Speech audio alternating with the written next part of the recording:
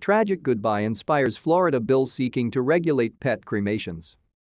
Imagine losing a family pet, having it cremated and later finding out the ashes you received didn't actually belong to your pet at all.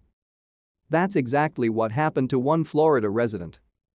Her story is the inspiration behind new legislation aimed at bringing more transparency into the pet cremation process. When Laurie Sullivan lost her cat after a long battle with lymphoma she wanted to be there for the cremation. To stay up to date with latest top stories, make sure to subscribe to this YouTube channel by clicking the button above this video. Instead, she was told it had already happened and something went catastrophically wrong.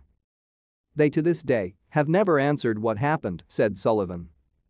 She went looking for answers on her own and sent the ashes she was given to the University of Florida for DNA testing.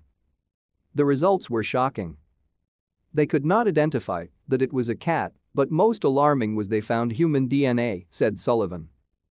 Sullivan's story caught the ear of State Senator Gayle Harrell, who for the past three years has carried legislation that would require more transparency from cremation providers. We want to make sure that little box on your shelf is truly your pet, said Harrell. The bill is named Sevilla's Law in honor of Laurie's cat, who inspired the legislation.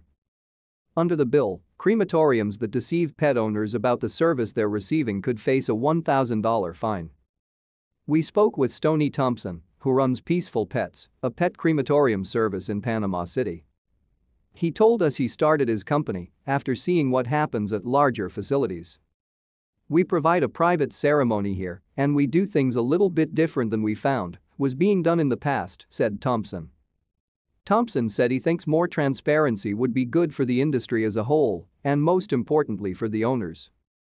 There's a lot of room for a more personal intimate service with the family member because pets are family too, said Thompson. The bill cleared its first Senate committee Thursday, the same day a House companion was filed. After three years of failing to get traction, Laurie and Senator Harrell are holding out hope this will be the year it passes.